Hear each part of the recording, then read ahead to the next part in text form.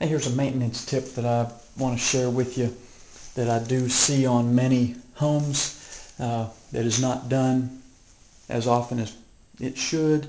Uh, here in the master shower, master bath, the shower unit, the caulking and grouting should be checked and looked at around the bottom edges of the shower and the bathtubs and coming up the walls.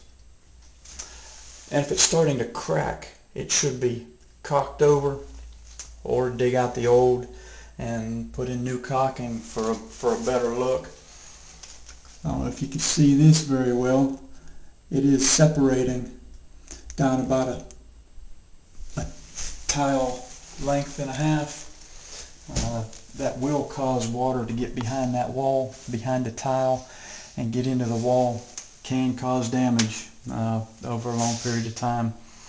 And over here in this corner, the the tile, the grout is cracking coming down the wall here.